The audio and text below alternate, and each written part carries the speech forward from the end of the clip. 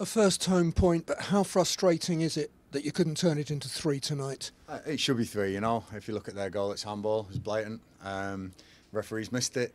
Uh, missed it, but that's just the way it's going at the moment. And you've got to look at the positives and say, what a finish! You know what momentum we had from that goal going in. I think they had one, maybe two more chances. We were the aggressors tonight. Um, fitness, people were questioning it early in the year. We finished like a train today. You know, I thought the uh, the boys were superb towards the end there, and uh, and it looked like another five minutes we might have got another. But um, now really pleased for a point, but we, we should have got more tonight. Over 90 minutes, did we work their goalkeeper enough for your liking? No, no. Um, we create so much um, hope. You know, we get into that final third so many times. Some of the crossing needs to be better. Getting on the end of things needs to be better. Hitting the target needs to be better.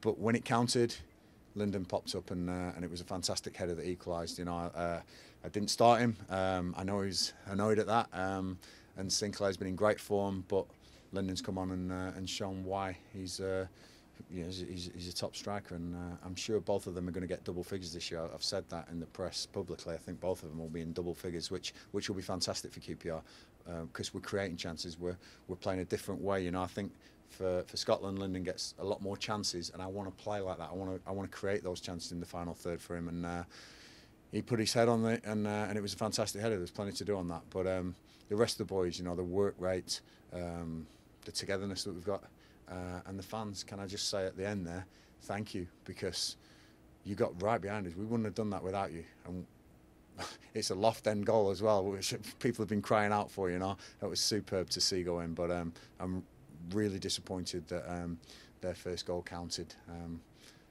sometimes it goes against you, and it's the rub of the green's just going against us at the moment. You know, but it'll come. It'll come. Patience, and uh, and I'm sure we'll be okay. It was getting late.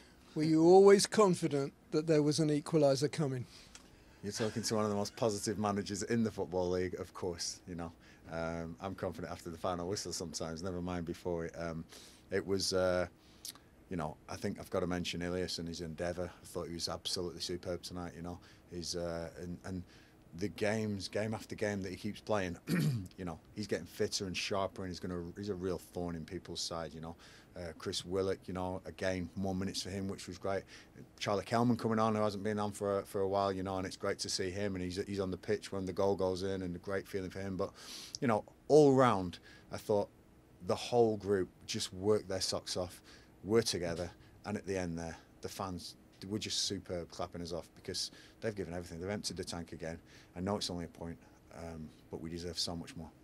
It does feel as if Swansea would not have scored without that handball goal. How pleased were you generally with the defending?